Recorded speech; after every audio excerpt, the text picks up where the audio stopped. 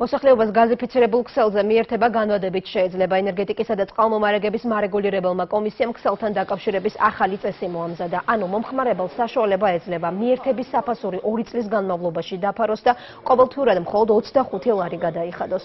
კომპანია კი ვალდებული იქნება აბონენტის ქსელზე მიერთებისთვის საჭირო ყველა სამუშაო და ხარჯი თავადვე უზრუნველყოს.